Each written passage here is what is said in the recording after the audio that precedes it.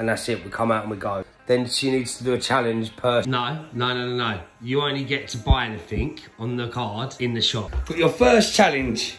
Don't pressure me, Nick, oh. alright? Guys, I don't know if anyone else is like this, but I hate shopping. I'm a one-shop man. If we're going out, I go to the one shop I need to go to, and that's it. We come out and we go. Now, as you all know, we haven't got nothing for the baby yet.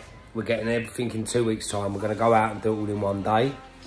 But I've said to Jess, if she wants me to go in more than one shop with the credit card, then she needs to do a challenge per shop. Didn't I, Jess? Yes. So, at the minute, you can go in one shop to get everything you need for the baby. shop? That's it, one shop. turn it off? But, listen, I thought I'd be fair, yeah?